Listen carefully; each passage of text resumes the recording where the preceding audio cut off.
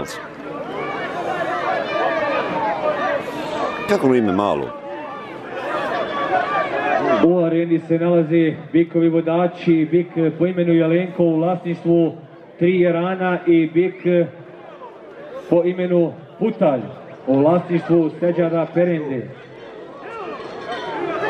Malac! Malac! Idemo, idemo, idemo. Hamza. Hamza! Šta piješ? Nek uzmi.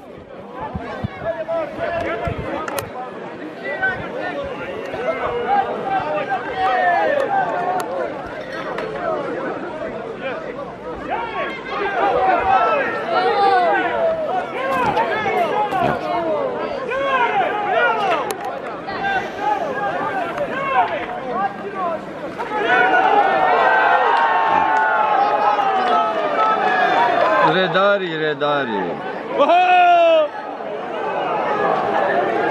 Hajme raka odavdje na me. Napada Jelenko, ne da se Putalj, može li jedan veliki aplauz poštovana publiko? Poslije ove borbe idemo sa pauzom.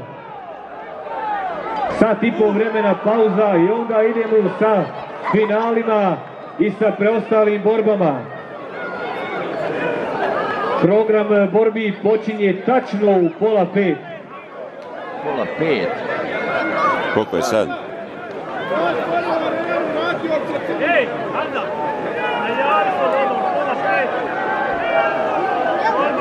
Tri. Za sat i po. Pola pet je mrak.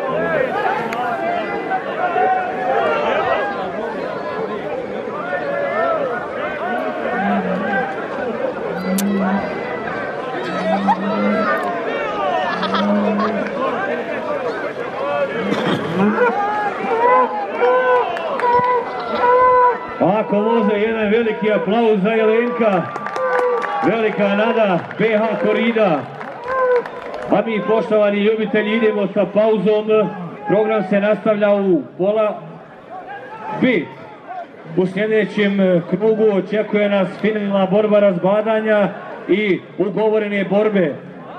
Molimo vlasnike da budu uz svoje bikove da bi se ispoštovao sav program. Faruka molimo da bude od svoga bika.